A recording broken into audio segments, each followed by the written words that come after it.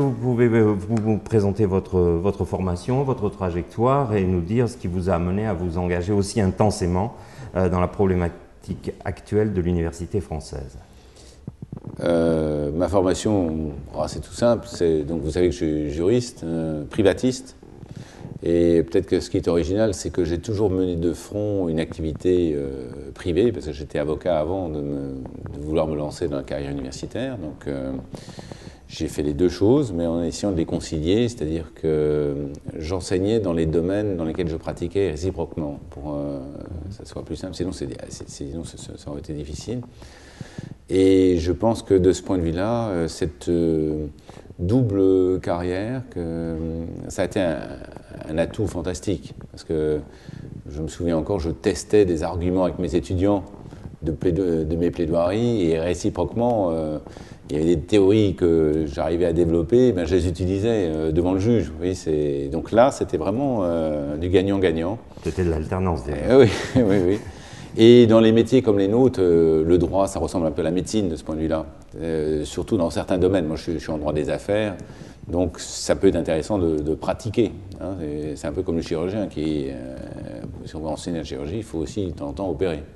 Et là, c'est bon d'avoir vu des contrats, d'en avoir rédigé pour, savoir, pour enseigner le, droit des contrats d'affaires. Donc voilà, c'est un peu ça que j'ai fait. Et puis euh, j'ai fait ma thèse, j'ai écrit ma thèse aux États-Unis, donc ça c'est peut-être original aussi. Euh, à l'époque, euh, c'était en droit antitrust, donc je me suis dit pour y connaître quelque chose dans l'antitrust, il faut partir là où il est né. Et d'ailleurs, je me suis rendu compte à ce moment-là de la difficulté que, les Français avaient à partir. J'étais assistant à l'université et j'ai dû démissionner pour pouvoir y aller.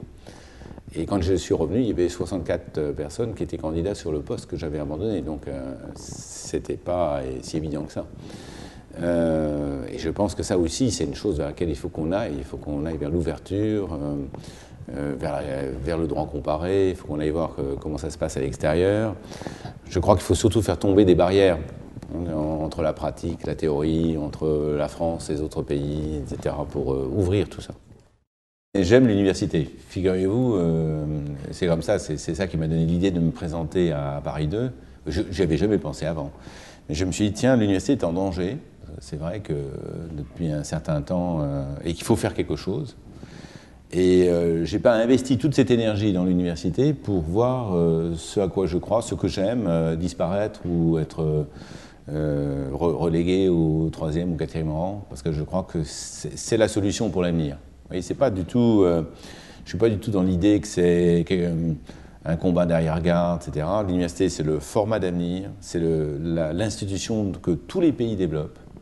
Euh, à cet égard, la France est une exception et qu'il est grand temps que cette exception cesse. Ça ne veut pas dire qu'il faut supprimer les grandes écoles ou que supprimer les, organismes de recherche. Ça veut dire qu'il faut que toutes ces institutions qui en ce moment travaillent de façon séparée, sont cloisonnées, il faut qu'elles travaillent ensemble.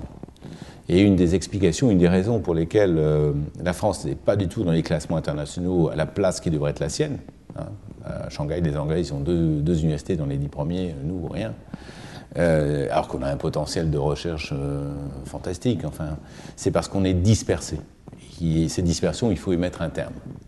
Alors, pour de plein de raisons historiques sur lesquelles on reviendra, mais il est temps nous n'avons pas euh, dix ans devant nous. Il est temps maintenant de réformer l'ensemble du système d'enseignement supérieur de recherche français pour le rendre, pour le mettre en, place, pour en faire une armée euh, qui nous permettra de gagner la, guerre intellectuelle qui est en train d'être menée à l'échelle de la planète.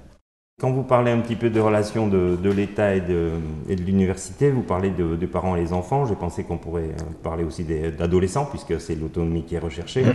Et euh, est-ce que vous pouvez un peu rappeler ce qui a bien pu pousser l'État à décréter l'autonomie des universités, alors que la centralisation à outrance est une spécialité française?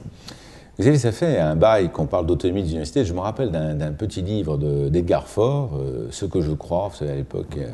Euh, le, titre du livre, c'était Il plaidait pour l'autonomie des universités. Vous voyez, c'est pas d'aujourd'hui.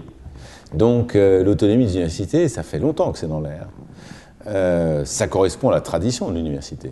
L'université, l'idée même d'université implique une certaine autonomie. Hein. D'ailleurs, l'idée de professeur elle-même implique une certaine autonomie, l'autonomie pédagogique, etc. Donc, c'est pas du tout quelque chose qui nous est complètement étranger. Après, il faut le gérer.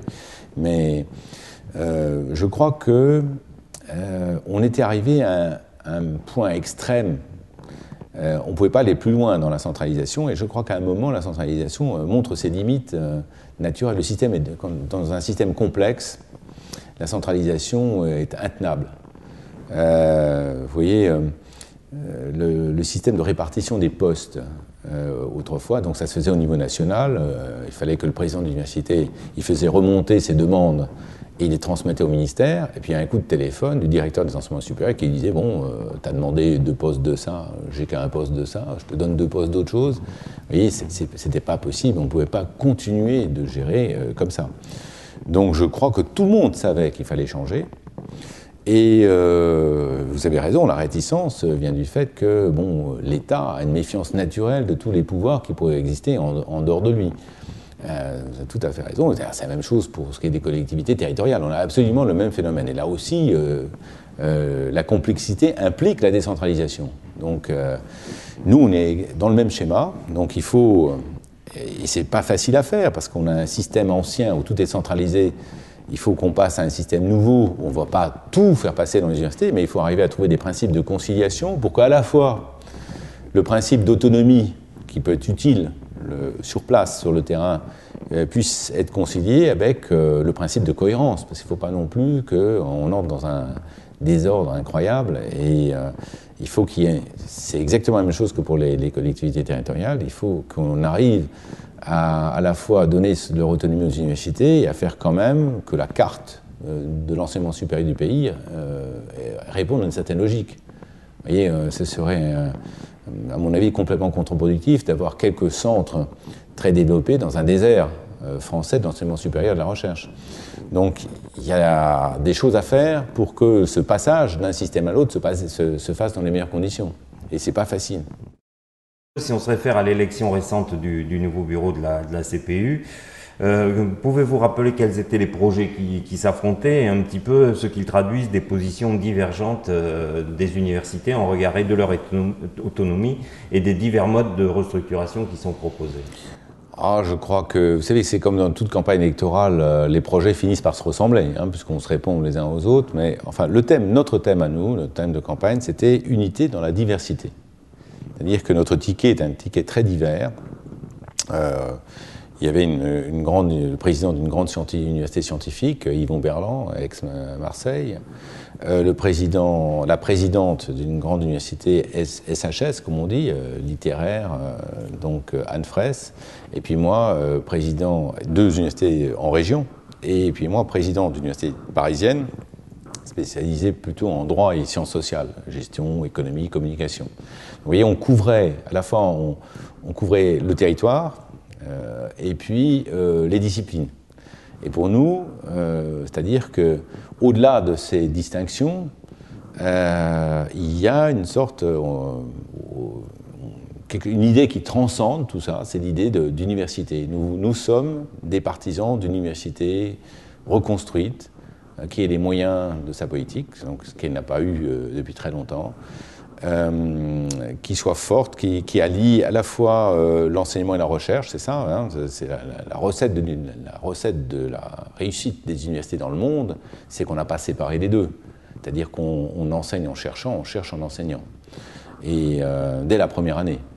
Et donc nous pensons que c'est ça qu'il faut faire et qu'il faut remettre l'université française à sa juste place, c'est-à-dire au centre du dispositif d'enseignement supérieur. Euh, donc oui, c'est ça qui a fait, et je pense que ça répond,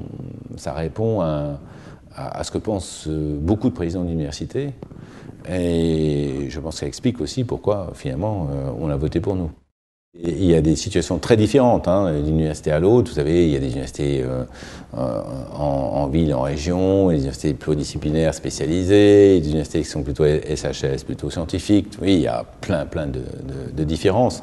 Mais au-delà des différences, il y a une idée d'université qui est commune à tout le monde. Donc vous voyez, il y a moyen, malgré toutes ces différences, petites, grandes, euh, spécialisées, pas spécialisées, en région ou à Paris, malgré toutes ces différences, il y a moyen de trouver des lignes de fond et sur, sur, lesquels tout le monde peut tomber d'accord. Et donc je, je crois que c'est un exercice qui n'est pas toujours facile, hein.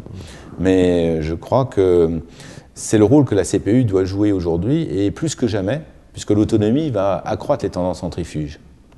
Donc on va avoir besoin d'un endroit où justement euh, il y a une volonté de rétablir de la cohérence. Et cet endroit, c'est la CPU. Mhm. Ah oui, c'est un gros enjeu, parce ben, qu'entre l'État, lui, qui, aura, qui, a, qui est maintenant d'ailleurs à sa stratégie, ah euh, il va pousser ses grands ensembles pour garder euh, la main sur un certain Nous, on doit avoir notre position propre pour l'université. Vous voyez, ben, moi, je ne suis absolument pas favorable au développement, par exemple, d'une de, dizaine de grands pôles, si, si c'est au prix d'un grand désert français. Hein. Il faut absolument euh, qu'il y ait un équilibre territorial et disciplinaire. Mhm. je ne suis pas non plus pour le sacrifice des SHS aux sciences dures, hein, comme on dit. Voyez, donc tout ça, la CPU a un rôle à jouer. Et ça, on peut compter sur nous pour le jouer. Hein. Euh, est-ce qu'on peut dire aujourd'hui, comme, comme un adolescent, État ou pas État, maintenant les universités, euh, elles ont leur destin entre leurs mains désormais? Elles ont leur destin entre leurs mains. vous savez, il faut avoir les moyens de son destin. Hein donc il faut absolument, moi je, reconnais que euh, le dernier gouvernement a fait un effort euh, très important en faveur des universités, plus important que celui qui avait jamais été fait auparavant, mais euh, ce, que, ce que je dis, c'est que nous ne sommes pas au bout de la route. On est passé, quand Valérie Pécresse est arrivée, on était à moins de 7000 euros de dépenses par étudiant par an dans les universités. on est maintenant à environ 9000 euros. Mais dans les, grandes écoles, les autres pays, la Suède, c'est 15 000 euros. Et les États-Unis, en moyenne, c'est 20 000 euros. Donc on n'est pas arrivé au bout. Il faut absolument que l'État français, et je crois que ça dépasse le sujet des universités, il faut que l'État français continue d'investir plus d'argent qu'il n'a fait jusqu'à présent dans l'enseignement supérieur et la recherche. Parce que c'est une condition de réussite pas des universités, c'est une condition de réussite de la France. Et si on veut enrayer la spirale du déclin. Vous savez, il y a de moins en moins de brevets qui sont déposés en France comparativement aux autres pays. Il y a des nouveaux pays émergents qui arrivent, c'est-à-dire que le monde bouge autour de nous. Eh bien, il faut que nous bougions aussi. Pour maintenir notre rang, il faut bouger. Il ne faut pas que nous restions statiques. Et un des moyens de bouger, c'est d'investir dans la recherche et dans l'enseignement supérieur.